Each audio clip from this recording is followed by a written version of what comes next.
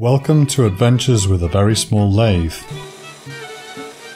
For this episode I need another custom fixture to hold the work, so I cut a new length of mild steel to use as a drawbar through the rotary table. The central spindle mounting has caused me some problems in episodes 2 and 3. The part has a large diameter for such a small lathe and is heavy causing vibration. The register for mounting on the lathe has already been machined and the rest of the diameters need to be concentric with the register or the whole faceplate will run out. This means I can't machine the remaining geometry to final size on a self-centering chuck, but my 4-jaw chuck has had serious problems with chatter and vibration, which made it unworkable. I'm going to work around this by delaying bringing the diameters to their final dimension until I can mount the part on the lathe directly using its own register without any chuck required. This is currently not possible as the part currently has no mounting screw holes and without them there is no way to ensure the part is properly locked to the lathe spindle. I'm going to begin by drilling the screw holes blind into the back face of the register, then do the rough turning in the lathe's stock 3-jaw chuck until the blind ends of the screw holes are exposed. It's easier to drill the holes before I do the turning while the outer end of the part is large and can stand firmly under the drill. I'll then be able to drill the counterbore, properly mount the part directly on the lathe spindle, and then turn the diameters to dimension with the minimum possible runout.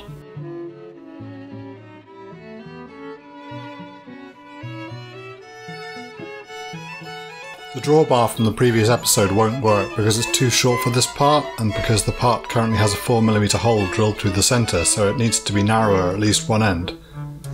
I'm sticking to 6mm for the rest of the diameter so I can reuse the plastic taper bushing I made in episode 5. It's also the only narrow steel rod I have to hand. I needed to reduce the diameter to 4mm for a length just over the length of the spindle part so the end needs to be centre drilled to go in a live centre.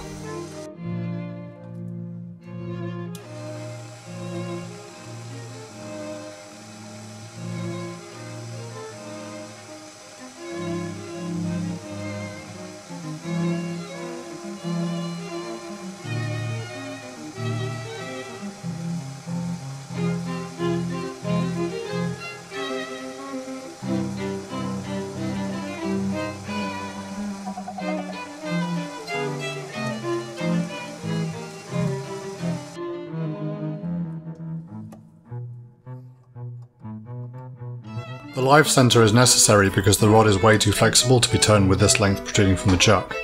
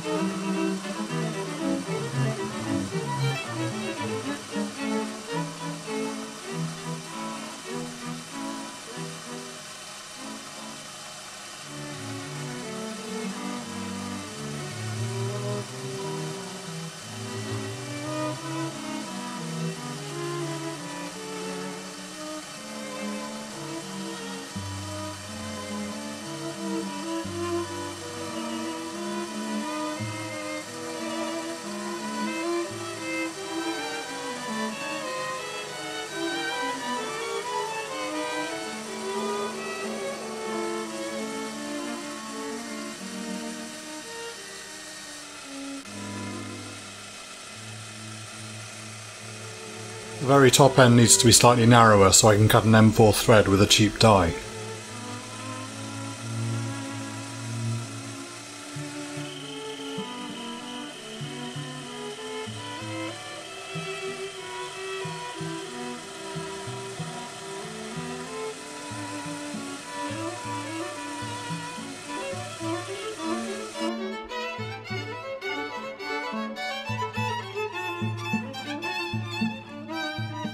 Despite reducing the diameter so much that there's very little depth to the thread, cutting it is still quite a battle. It's worth spending money on decent taps and dies, but the die I ordered for this job didn't arrive in time. As it's just a disposable fixture, I went ahead with the inferior tool.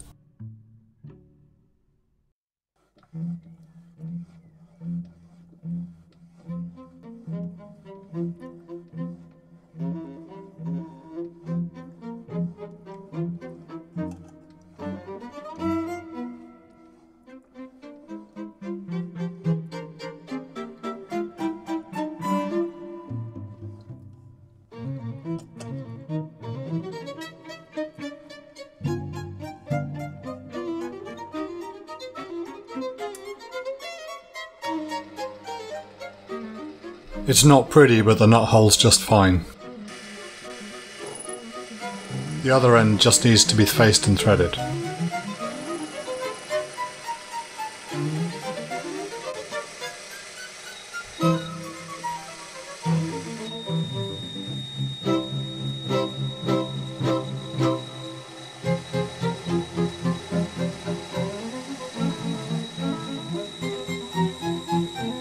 I trimmed the diameter a little and chamfered the end to make the thread easier to start.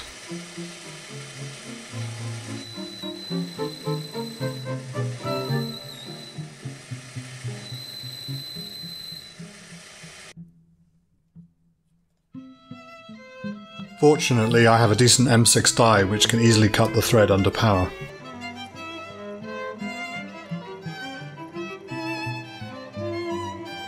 The tailstock die holder is one I adapted for the tailstock on this lathe. I needed to adapt it because the tailstock doesn't have a standard Morse taper.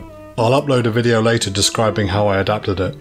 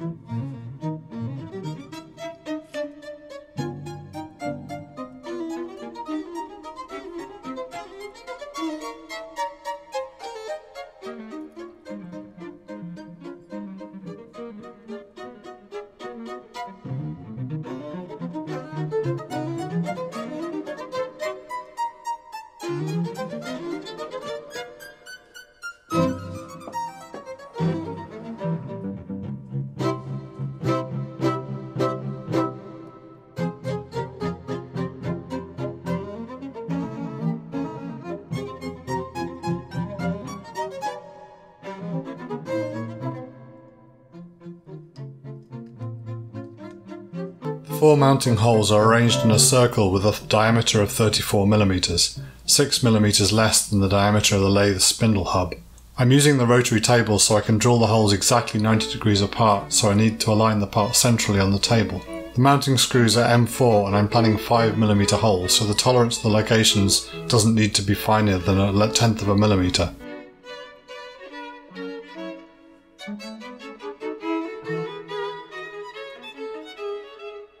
The indicating took embarrassingly long and was very dull, so I've skipped most of it.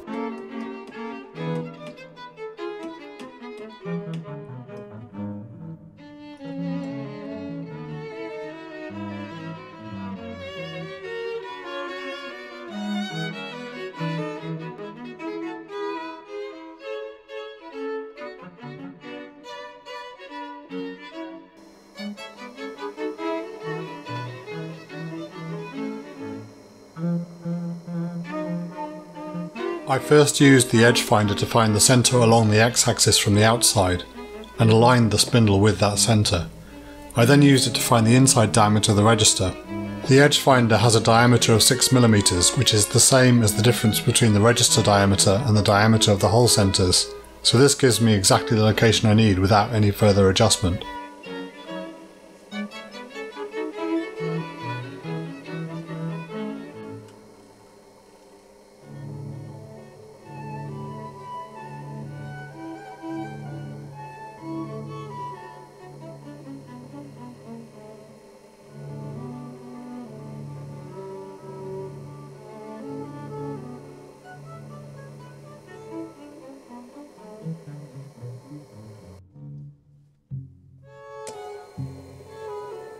To save myself the hassle of noting down or marking the correct angles, I aligned the table to zero before I started, and used the cardinal angles for the holes.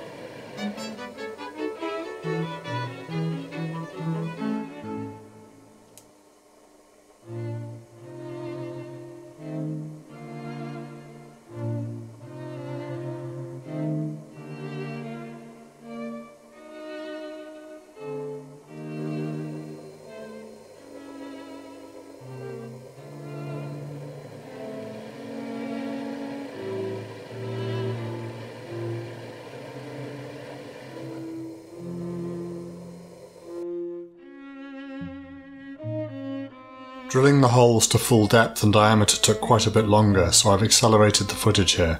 I drilled them as close as possible to the required depth with just a little over, so I don't have to deal with interrupted cuts when I'm turning away the bulk of the material and uncovering the blind ends of the holes.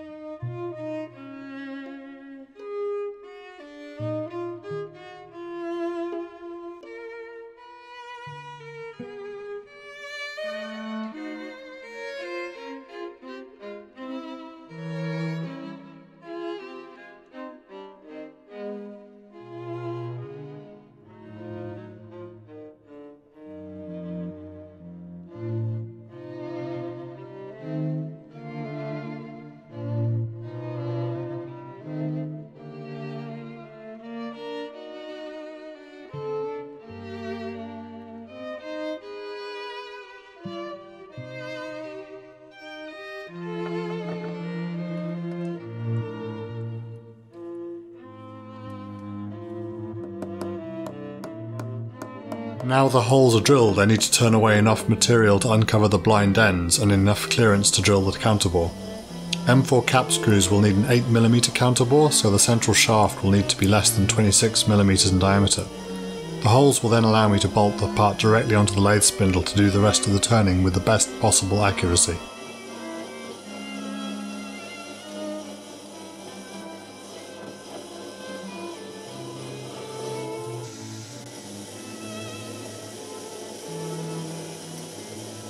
In a previous video I promised to do this turning off camera so I won't bore you with too much detailed footage. While there were no serious problems with chatter, the cutting pressure limited me to a maximum depth of 0.1mm before the lathe stalled, and the chips were very long and stringy. The chip breaker on turning inserts isn't designed to be effective for such shallow cuts on a small lathe.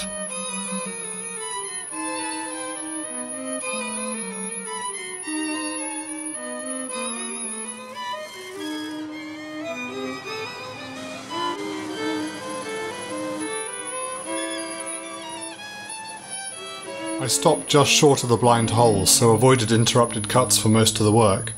I was concerned that I'd chip the inserts if I broke through unexpectedly.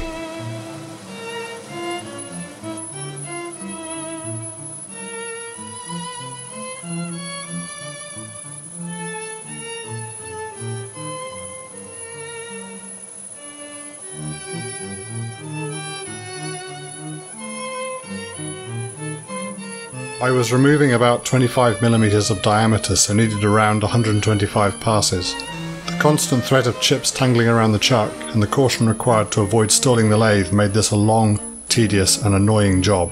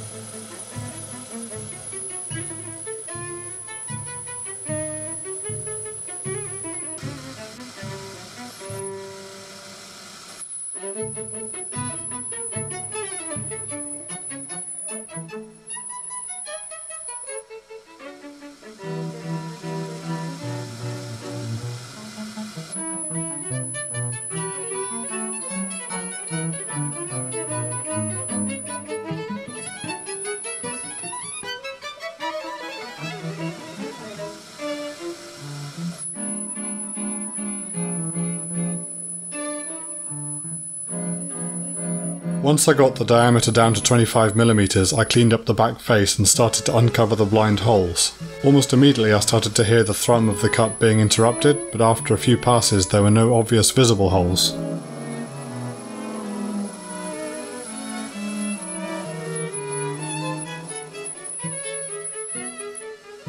The holes turned out to be covered by a thin layer which was being pushed back into the hole by the cutter, effectively a very large burr with no edge. It was easy to push them through with an Allen key.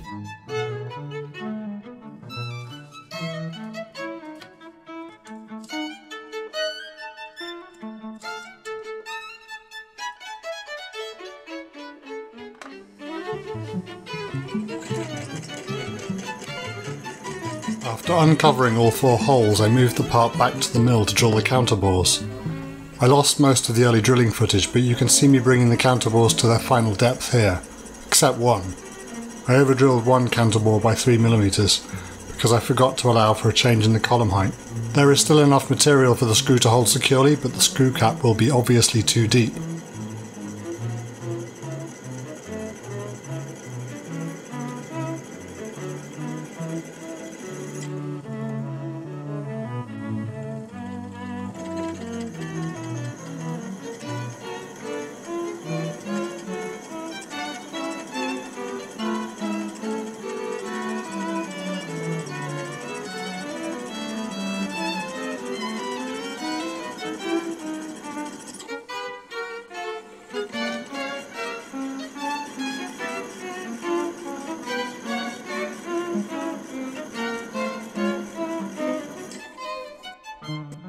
The spindle should now be ready to mount directly on the lathe. Let's give it a go.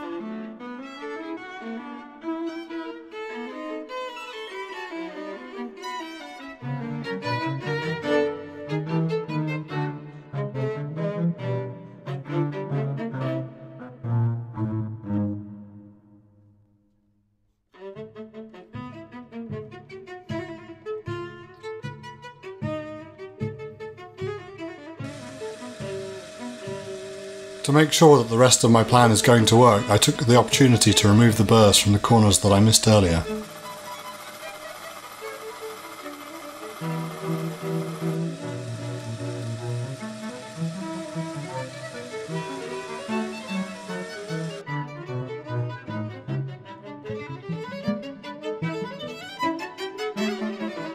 With the spindle now much closer to its final form and the main features of the faceplate itself already complete, whole project looks much closer to its end goal. In the next episode I'll be bringing the spindle shaft to its final diameter and cutting the threads the two parts need to fit together. Please like and subscribe if you're interested in following this project and feel free to let me know in the comments if you have any thoughts or suggestions.